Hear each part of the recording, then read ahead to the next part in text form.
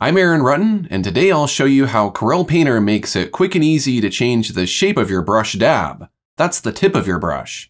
Follow along with me and I'll show you how. Dabs come in every shape imaginable, and you can even capture your own dabs directly from the canvas. Painter has a library of dabs you can choose from in the Captured panel, so we will work with those.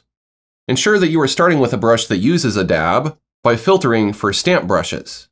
I'll choose Brushy in the Oils Bravura category. You can see that it has a bristly dab.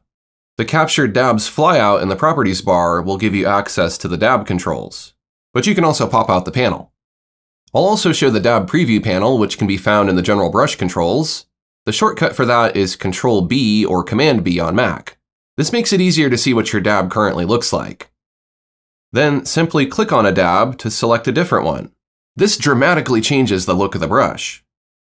You can also apply effects to the dab to customize it or slightly randomize the dab shape. I find this useful for painting foliage because I can use a single brush to get a variety of leaf shapes. The strength slider controls the intensity of the effect.